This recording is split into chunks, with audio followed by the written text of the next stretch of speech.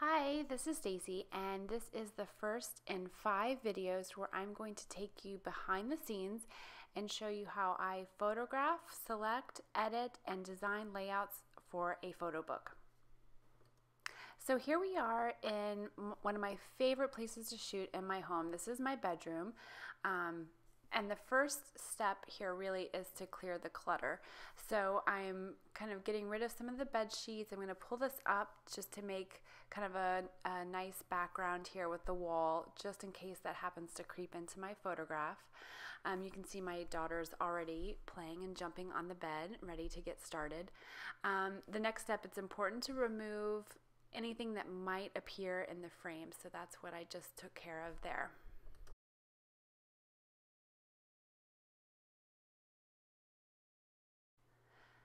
So the next step here is to make sure that you have the right lens on your camera. I did have my 50 millimeter on my camera, so I'm switching it here to the 28. Um, this works better for me when I'm shooting indoors and particularly here because it is kind of a tight space. Now I am um, opening up the blinds and that is to get a little more light into the room. Now, my daughter was adequately dressed, but my son was wearing, although a cute shirt, not what I wanted for the photograph, so I switched him into a solid color shirt and he gave me a hug, which is very sweet. Okay, so the next step then is to really get your settings appropriate. And you will see here, it takes me a little while to get my settings. She was having fun though, so that's okay. And then we play this game where we count one, two, three, and they have to be very still for the three seconds, and then they can jump around and move. So in this instance, I'm still kind of getting my settings just right, but you get the gist of the game. So now I'm trying to move them closer to the light, and I'm trying to get them to pay attention, to stop, to, to calm down, to look at the lens. It's not completely working. My son's a little crazy. Um, so we just go with the flow. And here you can see I'm trying to tell them, let's be still for three seconds, but then my son has an itchy nose. So we're just trying to work with it. And um, it's just how it is. My, my son, who's the taller one, is closest to the window. I wish it was the other way around, but that just wasn't happening at the moment. So I'm just letting it go. And I'm trying to capture them and photograph them while I can um, as they're solitary in that moment. So first it was my my son, and now I'm trying to get my daughter, and now they're both acting crazy.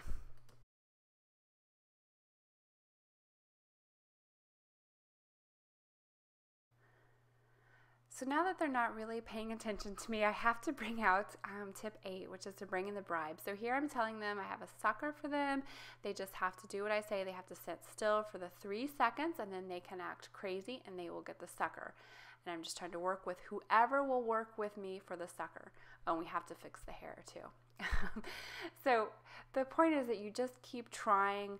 You know, this is just typically how it works for me. They're both kind of silly acting, but I think I, in the end, got at least a couple of photos that will work for my book, and now they just go crazy, which is so cute. Um, so the last tip is to say thank you and make sure that you reward them with what you said you were going to for doing the good job. It'll make them want to do it again.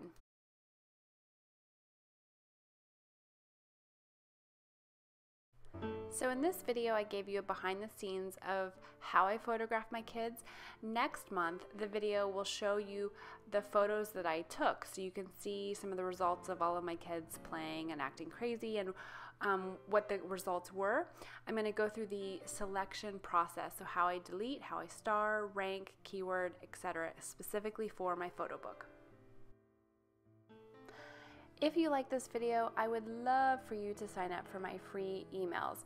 I send out emails twice a month and they always include what's going on in my life, what I'm photographing, how I'm putting them into photo books, any photo book design, tutorials, tips, things that I have going on in my shop. So I would love to have you on my email list and I can't wait to see you for the next video in this series where I select my photos.